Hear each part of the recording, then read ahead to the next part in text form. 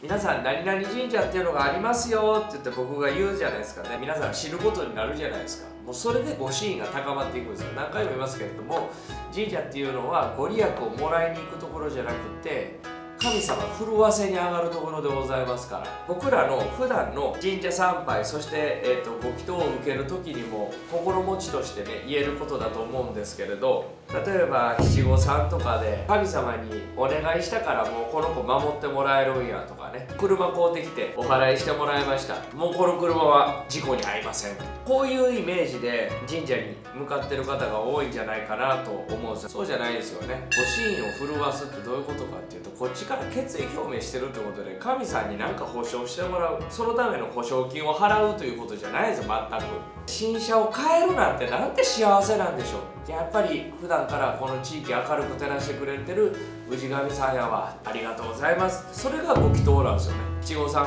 3歳5歳7歳まで元気に育ちました。こっからも元気で育ちますようにしっかり親として面倒を見ていきます。この決意表明が七五三のご祈祷なんですよね。このような感謝を申し上げる場ありがとうございます。設けていただきまして神主の方も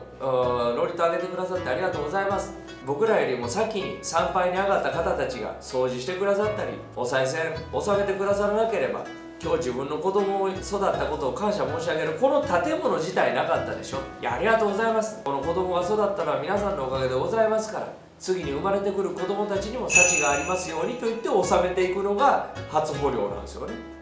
だから自分の子供になんか対価として払ってるんじゃないですよ。ああ5000円払ったから俺もうやってくれよとかそういうことじゃないですよね。